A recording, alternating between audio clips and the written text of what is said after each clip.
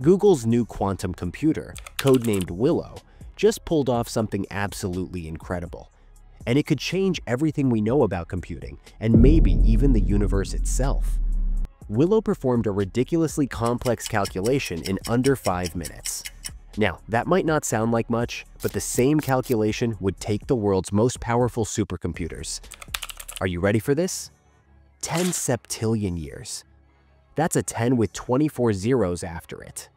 To put that in perspective, that's about 2,298,850 times the estimated age of the universe. It's like comparing the blink of an eye to the entire lifespan of the cosmos.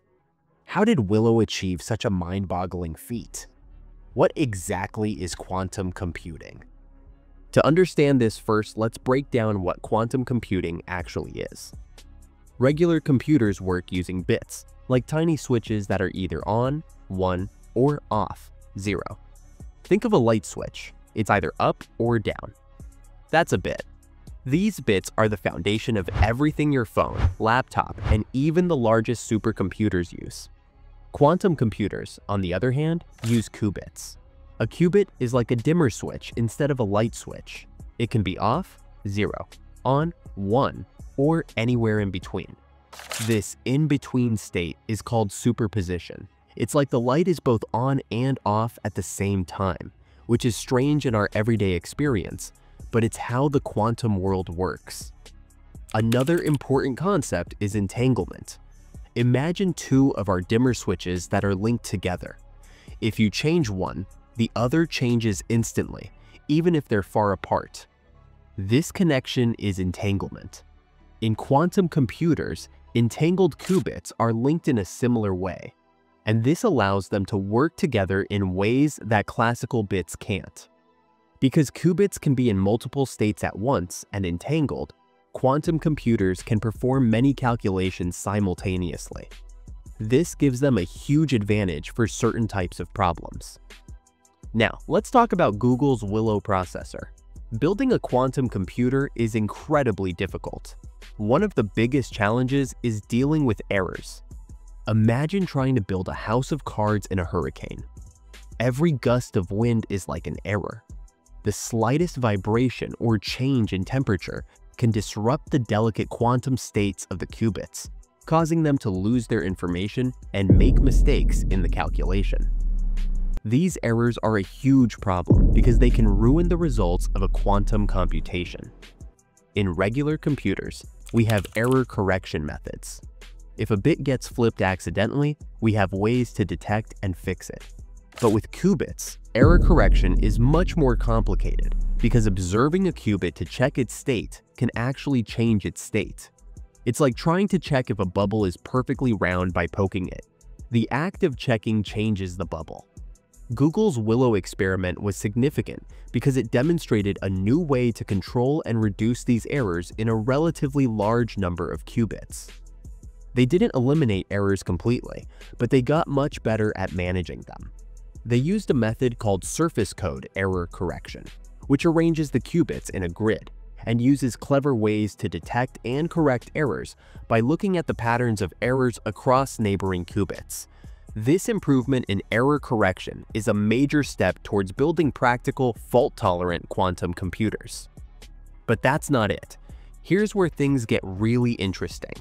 Some Google scientists have even suggested that Willow's performance might actually support the multiverse theory, specifically the many worlds interpretation. This is a mind-bending idea that suggests our universe is just one of many, possibly infinite universes. The idea is that Willow might be tapping into these other universes to perform its calculations. Now, many scientists are skeptical about this claim, and it's definitely a controversial topic. What do you think? Could a quantum computer really be using the multiverse? Let me know your thoughts in the comments below. Now, you may ask, what are the potential benefits and dangers, as every new technology has its pros and cons? First of all, Quantum computing has the potential to revolutionize many fields like medicine. It can help simulate molecules to design new drugs and therapies much faster. Materials Science Discovering new materials with amazing properties. like superconductors that can transmit electricity without any loss. Artificial intelligence. Developing more powerful AI algorithms that can solve incredibly complex problems. Finance, creating more accurate financial models and optimizing investment strategies. However, there are also potential dangers. Breaking encryption. Currently, much of our online security relies on encryption algorithms that are very difficult for classical computers to break. Quantum computers, however, could potentially crack these codes relatively easily. This means that our online banking, communications, and even government secrets could become vulnerable. This is the biggest immediate threat. Imagine all your bank accounts, emails, and personal data suddenly becoming accessible to anyone with a powerful enough quantum computer. New weapons. Quantum computing could be used to develop new types of weapons and military technologies. While the progress with Willow is exciting, it's important to remember that quantum computing is still in its early stages. There are many challenges that need to be overcome. Error correction. As mentioned earlier, errors are a huge problem. We need to develop much better error correction techniques to build truly reliable quantum computers. Maintaining qubit stability. Qubits are very sensitive to their environment they need to be kept at extremely low temperatures, close to absolute zero, to maintain their quantum states.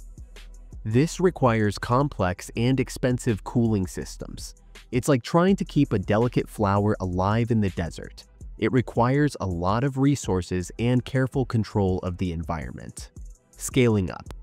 Building a quantum computer with a large number of stable and reliable qubits is extremely difficult we need to find ways to manufacture and control many more qubits than we can today. These challenges mean that widespread practical quantum computers are still likely some years away.